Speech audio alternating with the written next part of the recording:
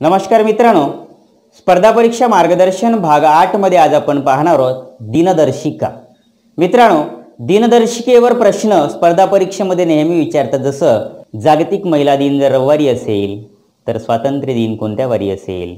असले प्रश्न नेहमी प स्पर्धा परीक्षेमध्ये विचारतात. ते प्रश्न कशा पद्धतीनं सोडवायचे ते आपण आज या ठिकाणी पाहणार आहोत. कसं पहा एक उदाहरण घेतो मी जसं बघा मित्रांनो एक उदाहरण घेतलं आपण. दोन हजार वीसमध्ये गणराज्य दिन रविवारला आहे. तर त्याच वर्षी महिला दिन कोणत्या वारी असेल? हा प्रश्न आहे आपला. आता महिला दिन कोणत्या वारी आहे? ते काढण्यासाठी आपण काय करतो पहा. गणराज्य दिन म्हणजे जानेवारी महिना. जानेवारी महिन्यात गणराज्य दिन सव्वीस तारखेला असतात. आता सव्वीस जानेवारीला गणराज्य दिन असतात मित्रांनो. जानेवारीनंतर महिना येते.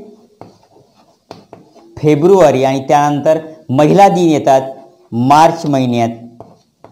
पहा मित्रांनो जानेवारी महिन्याचे दिवस काढताना आपण आता काय करणार? एकतीस महिना हा एकतीस दिवसाचा हा जानेवारी महिना असतो. एकतीसमधून सव्वीस गेले राहिले पाच दिवस. सव्वीस नंतर येणारे दिवस आहे पाच.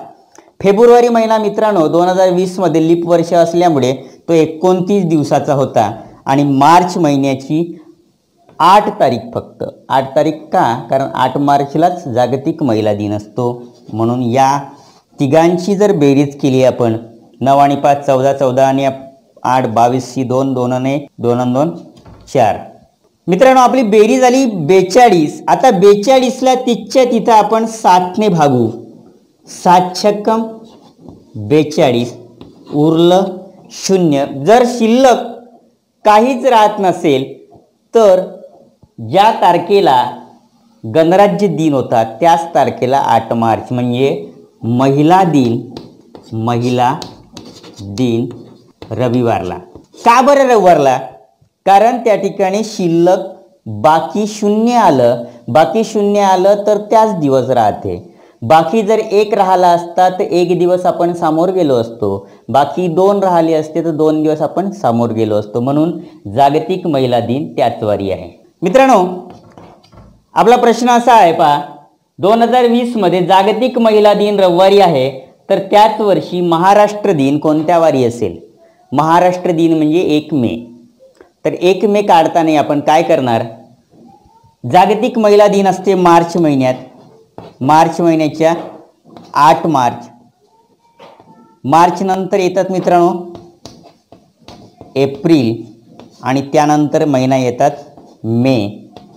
या तीन महिन्याचा कालावधी आपल्याला काढावा लागणार आहे. कसा काढायचा पहा? आठ मार्च म्हणजेच आठ मार्च नंतरचे दिवस. त्यापेक्षा सोपी सांगतो तुम्हाला. एकतीस मार्च महिना हा एकतीस दिवसाचा असतो. एकतीसमधून आठ जर काढले तर राहतात उत्तर तेवीस. तसंही करू शकतो आपण. एप्रिल महिना तीस दिवसाचा आणि मेची एक तारीख. ती तारीख घ्यायची. एक तारीख. मार्च महिन्याची दिवसं काढताना आठ मार्चच्या पुढचे दिवस मोजून घ्यायचे म्हणजेच ती एकतीसमधून आठ गेले तेवीस. आता यांची बेरीज केली. तीन आणि एक चार तीन आणि दोन पाच. बेरीज आली चौपन्न. त्याला सातने भागायचं. साती साती एकोणपन्नास. उरले पाच. आता पहा मित्रांनो पाच आहे बाकी. बाकी पाच आल्यामुळे आपल्याला या दिवसाच्या पाच दिवस पुढे म्हणजेच काय होईल? रविवार होता. सोमवार मंगळवार बुधवार गुरुवार शुक्रवार. म्हणजेच महाराष्ट्र दिन महाराष्ट्र दिन शुक्रवारला असेल. महाराष्ट्र दिन असेल शुक्रवारला. मित्रांनो या पद्धतीनं तुम्ही उदाहरणं तयार करा आणि याच फॉर्म्युल्याचा वापर करून आपण उदाहरणं सोडवू शकतो.